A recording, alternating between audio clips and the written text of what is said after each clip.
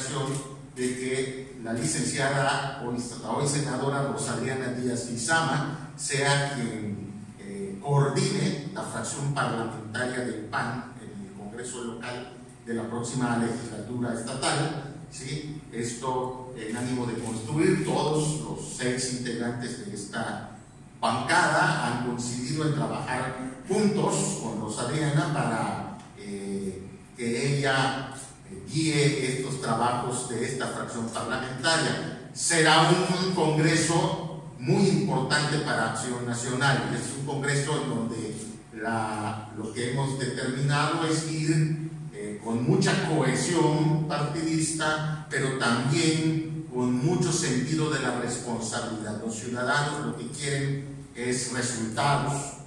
Vamos a empezar los trabajos desde ya Vamos a tratar de lograr consensos y acuerdos con todos los grupos parlamentarios.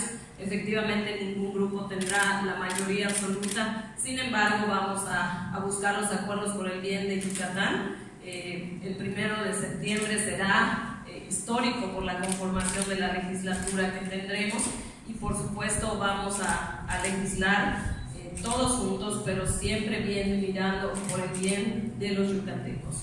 Eh, el mensaje que quisiera dar no solamente a la sociedad yucateca, sino a los panistas, es que nos vamos a entregar esta fracción parlamentaria eh, viendo en todo momento por el bien de la sociedad.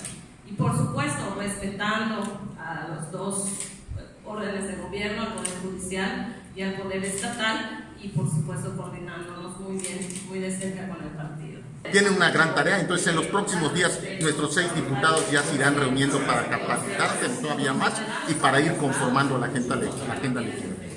Hay una, una, una gran oportunidad y una gran convicción de salir juntos como fracción parlamentaria. Agradecía al partido y a mis compañeros con quienes hablé previamente, con todos, con los cinco, incluyendo al doctor Díaz, a la diputada Katia, hablé previamente para manifestarles mi intención de condenar a la bancada, poniendo a disposición toda mi experiencia legislativa desde estar en un cabildo hasta estar en el Congreso local, federal, tanto en la Cámara de Diputados como en el Senado, y poner a disposición esa experiencia, pero con mucho respeto.